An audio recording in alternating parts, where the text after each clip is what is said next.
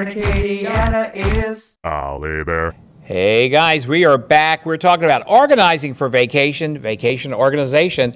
Our friends from Amazing Spaces are here, and uh, Linda Bordelon, Renee Ori.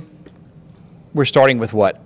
We're talking about the essentials that you need to bring when you pack your suitcase.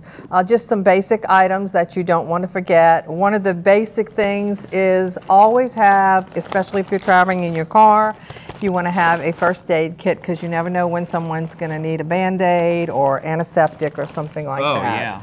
So also uh, a trash bag. We always put a trash bag in the car for, you know, trash. That's a very nice trash bag. It's got a zipper It's a on it. yes, it I'm does. impressed. yes, and you know when you stop for gas, you empty it out and you can refill it.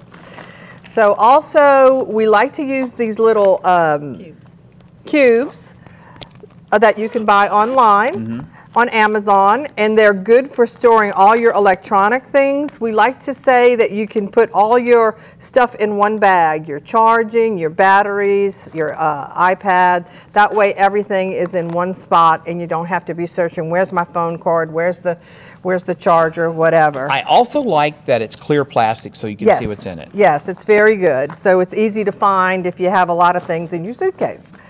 So also we use the cubes for packing clothing and one of the things we like to do is if you want to pack by the day, if you want your children, to- if when you tell your children go get dressed, they can just grab one packet, their clothes are in it, and then they you don't have to wait on them to get ready when everybody's ready to That's go. That's a great idea. Yeah, it's a great way to pack. Um, another thing is um, these wonderful little things when you pack your suitcase. These are dryer sheets.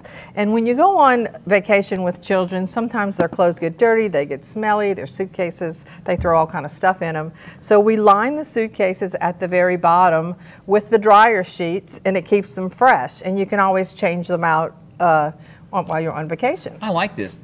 Oh wow, it smells terrific. That's a great, great smell. It, smells clean. It smells floral. Okay, this is great stuff. Look, I hope you're taking notes out there. Hey, we're gonna go back to you guys